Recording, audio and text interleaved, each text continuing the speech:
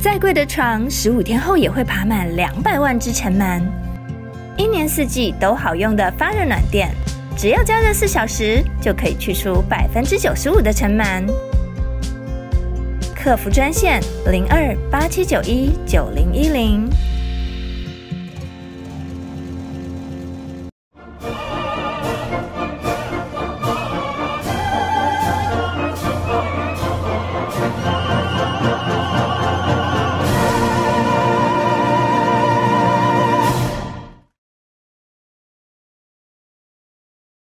大家好，童文成突破童文成，我是童文勋，我是杨先红。陈同佳的问题哈，我觉得这个民进党到底发生了什么事啊？在陈同佳的问题上面，嗯，一直出错，一一个刑事案件嘛，从去年开始，然后就一直写信给港府，港府一开始是那个已读不回，这是长期的问题了。因为我在节目中，我曾经分享过很多次。我在二零零四年的时候，怎么样去香港，想要呃处理协助这个客户处理一个那个刑事诈欺的案件，因为我们知道有很多人都把诈诈取的这一些财物呢，他就是 parking 在香港，因为自由金融嘛，所以说 parking 在香港。那我们取得这个，希望取得香港的这个警方的协助以及律师的协助，所以我们就去警局报案嘛。那那个过程我其实已经分析过，我就不再说了。我只想要说一件事情，就是说台湾跟香港长期以来刑事上面没有办法这个刑事案件的协助，没有办法协调，是长期的问题，是非常难搞，搞不定的。可是能不能个案处理，要怎么样去处理，其实还是可以处理的。因为我的那个案子到最后还是还是成功的立案，然后也到了法院，好。所以其实不是那么一定不能处理，但是它有一一定的那个方法。可是呢，陈同佳的案子从一开始的时候是港府是已读不回，一直到有一天港港府突然跟这个台湾的法务部说：“好，那我们来修法好了，因为我们的这个呃有关于逃犯的这个问题呢，我们并没有这个啊开放说可以移送到中国。那基于一中原则呢？”台湾是一个中国的原则嘛，所以中国没有的权利，台湾是不能有的。就这就是香港的所有的这个警方啦，或是他们的法律的这个系统一直在说的，就是说中中共是爸爸，香港是儿子，爸爸能做的，儿子不一定能做，所以必须要经过中共的同意。好，那今天如果说他要修逃犯条例的话，当然要把中国给给纳入，所以不能只是单纯处理台湾的问题。那当时法务部就已经没有搞清楚整个港府的企图，也没有搞清楚港香港的法律，好像还去赞成，对不对？是，他说乐观其成，好，还还回回了一封白纸黑字的信给人家。嗯，后来变成这个逃犯条例的内容一过，那这个公布之后，这个整个香港就一片哗然，因为。这根本就不是陈同佳一个刑事案件的问题，这是港府要偷渡，就是要让将来整个把这个港人送终的这个过程的这个流畅度嘛。然后拖台湾下水，是拖台湾下水。然后，哎，这个法务部应该醒了吧？结果到今天还没醒。嗯，你看这两天不敢，不管是法务部或是我们的内政部部长徐国勇大律师出来讲话，讲的这个荒腔走板。第一个，你们到底？到今天为止，已经一年多，快两年了。你搞清楚香港的法律规定了没有？他到底能不能去做一个，就是说，对于海外的犯罪，他能不能审判？还是你主张他先要开始修法？那比如台台湾是可以的，台湾对于这个在海外，比如说有万国公罪、海盗罪，或是一定的刑度以上的刑责，你即使在海外其他的国家被判刑，甚至已经处罚过、坐牢过，你回来还是要重新审判哦。走走一遍，那是根据主权问题。对，这是主权的问题，而且是根据台湾的刑法、刑事诉讼法的规定。那你知不知道香港是怎么规定的呢？你现在徐跟我出来说香港。不审判自己在的的公民在其他地方杀人，这怎么说得过去？你搞不清，搞不搞得清楚？现在香港的法律到底是什么？你说来给我们听听看。第二个，你若主张是今天才要修法，你是让他去修刑法的这个内容，我们当然知道刑法一定是不能溯及既往嘛。你现在想要他去修法，修的是程序法喽，就是说以前是不可以管辖的，现在可以管辖，那能不能溯及既往？有非常多的法律问题在里面。其实我们主张的很清楚，其实香港的大律师工会他也有做过一个公开的这个说明，整个送中条例的说明，说明的内容是什么？还把林克颖的案件当作是一个例子，也就是说，跟香港跟台湾之间的刑事的引渡，其实个案就可以处理了，法院就可以裁定了，因为香港跟台湾的司法的这个水平是差不多的。那在差不多的水平，对。我们并没有，就是说我我会把你的刑犯这个去虐囚啦，或是刑求啦、取供啦，没有这样的问题。香港的有一部分还比台湾进步，他没有死刑。对，嗯，那可能我们要 guarantee 说，你你人到了台湾的时候，我们不会把他判死刑。也许他会有这样的一个要求，这个是常常出现在国际的。他是两公约签订国家嘛，是，所以他有可能会要求台湾要做。你必须要做这样的承诺，否则的话没有办法移送。结果现在。香港突然醒了，其实当时他就应该直接把人送来台湾就好了。你如果是为了政治目的，当时候是因为他有判了二十九个月的洗钱罪，所以关在监狱里头。不，他一样可以把他送出来。当然也可以啦，但是他决定先把他关着嘛。那你你你法务部你也同意啊？那你今天竟然敢说，只要他他不能上飞机，就是这这个人呢，我就是拒绝他入境。你是抛弃主权呐？他现在修正了，对他现在是说，如果你敢进来，我就把你抓起来。是啊，当然抓起来才对了，因为毕竟是杀人罪。杨大哥，我们法务部是半夜发新闻，内政部也是半夜发新闻。哎，这个政府还有救吗？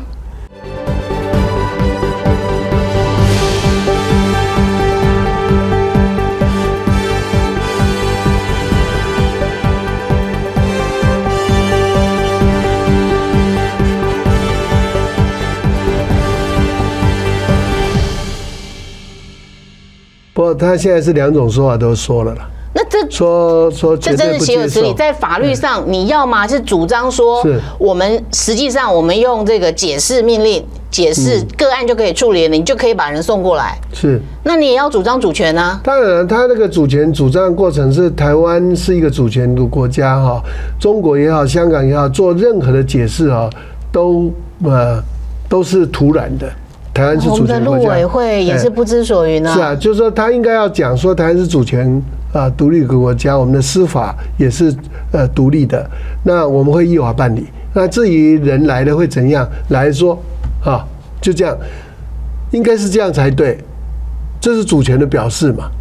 啊，也不需要告诉人家说我会把他抓起来，会不会把他抓起来，会怎么样？你干嘛现在去摊底牌呢？就直接讲，我是主权独立的国家。你中国说三道四，你香港说三道四都是不算的，都徒劳。我是主权国家，我会怎么做？我依法处理。啊，就是兵来将挡，水来土掩。你去当陆委会的那个主委好了。我干嘛要去做？我们在坐在这里，这件事情我真的是很很难受。就是说，我们来讲李靖宇的事情。嗯，好，那个李明哲的父亲。呃，上上上个月过世嘛，好，那过世呢？那李金宇就就希望就是说，能够让李们李明哲可以回来奔丧，所以他就写了一封信，请这个海基会陆委会转发，去帮他转达转发。为什么李金宇要这样坚持呢？是因为他认为我们是一个主权的国家，是，所以他不管在私底下对于这些单位有什么样的抱怨，他绝对对面对中共的时候，他绝对不会。多说一句话，嗯，他认为这跟政府是站在一起的，所以呢，他绝对不会私下跟他沟通，私下跟他往来，所以一定是透过官方的管道。这个是我们协助李靖宇的时候的非常重要的基本原则。这是一个坚持，所以一定要坚持主权。结果海基会跟陆委会把他的声明，把他要求他送去的，其实我们都笑说海基会、陆委会根本就是邮局，嗯。结果他还这个邮局呢，还把你要送去的信 把它给剪了，有一段不见了。其实我们也可以理解啊，你就不敢丢这个球，你也不敢接这个球。如果李明哲真的依照中国的法律，的确是这样，至亲奔丧、至亲死亡可以可以有一天的假可以回来奔丧的。你若中共如果那时候聪明，让他可以回来奔丧，那就是一个国家了，不是吗？他依照中国的法律，让他的犯人，嗯，他认为他是中国人嘛？你就当然可以依照中国的法律来实施实施行啊，对不对？一一天让你回回来台湾奔丧，那奔完丧呢，海基会跟陆委会、中华民国政府敢不敢让李明哲再回去坐牢呢？不敢。所以是你不敢接球嘛？对，你敢不敢主张呢？现在遇到了这个呃所谓的这个刑事案件，你刑事案件任何一个国家这边犯罪，那你林克颖的时候主张了半天是为了什么呢？我们的英国代表处啊，好倒霉哦，为这个事情打了多少官司啊，对花了多少钱要把要回啊？来，嗯，要英国把人交出来。是不是？那个还、那个是酒醉驾驶，他还不是故意杀人哦。今天是在你的领地里面，还是预谋杀人哦。嗯，你竟然不主张主权，不管他怎么送过来，你就把他接下来就好了嘛是。啊。你可以不必先揭露你的答案啦，因为这个本来主权国家就是在这个对外讲话的时候，说我们会依法办理。天哪，我们这个荒腔走板的内政部跟这个我们的法务部，你有这么多的法律人才，你搞不清楚香港的规定是什么？还在我看那个新闻里头还在担心说有一个什么中共政协的什么牧师哦，要陪同他来，还不简单。来了以后依法办理，先把他压压下来，先问有没有违反国安无法，如果有违反国安无法，照样都要把他逮捕啊。这不是还有这事情中间还插出了一个黄成国，对不对？那个黄成国黄成国怎么会有角色？怎么会有角色他讲的那些东西我都不相信。那个，哎，你要有一个人来了以后，还要安排他去见内政部长哦，嗯哼，这是何等大事啊！怎么可以这样向求给他照卡赶快？显然是啊。所以表示他们中间一定有非常多的联系嘛。这个联系是什么？我觉得比较担心。他竟然还敢把它讲出来。对，是啊，他九月底带着这个有中共中央政协身份的人，好叫管浩明，去见了内政部长徐国勇，然后徐国勇也证实说有见面，但强调不知道对方有政协身份。当然好了，见内政部长有那么容易吗？不容易耶。就我的经验，要做很多沟通嘞。你事先都不做任何调查，嗯那我们还有国安吗？这个是非常非常严重的一个过程。这让人家想到上次那个谁跑去这个民进党的党中央也见了一些人了。对啊，对啊你都不知道他是主张武统台湾的。所以那个完全不设防的感觉哈，我其实是很不好。我看这个政府哈，这个真的可以收收起来了啦，修修起来。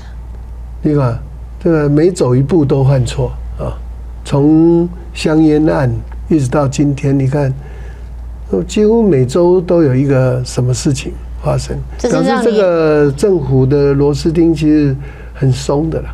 而且这个民进党为什么国民党化的这么快啊？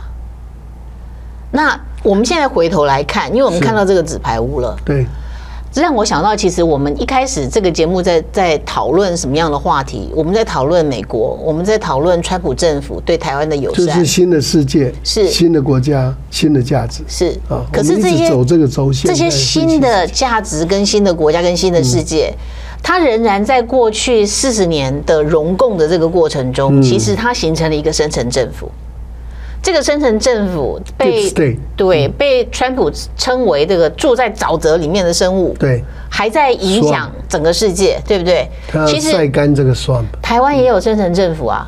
有我们现在从追这个论文门的过程中，我们追到太多东西了。我们发现说，其实台湾一直是一群深层政府的人在统治，哪里有蓝绿的问题？根本没有蓝绿的问题，他们就是一窝的，他们就是一伙的。就是表面上有蓝绿，事实上是没有。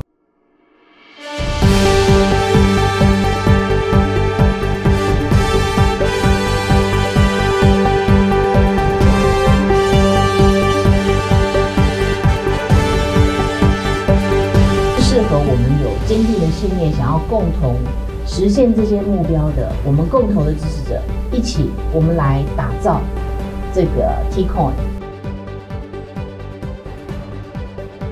美元要与要做成这个台湾的法定货币，法定货币之一，成立与美国建交宣达团。在环保部分，应该我们要建立一个 team 去做维护基证。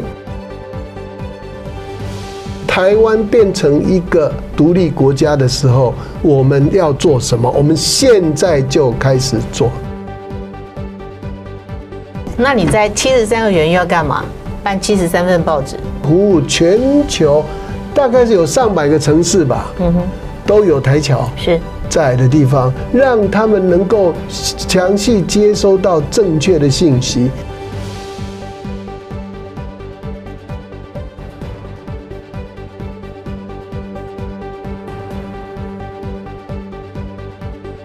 然后提供意见进来，我们帮忙来维护基证的调查、也一样，司法改革，这都可以些律师都可以这些用虚拟货币来啊给付他。我们来做这样的一个永续发展的建立台湾主权的道路，解决所有台湾现存的这么多年来没有办法解决的问题，就从 T Coin 的认同帽开始。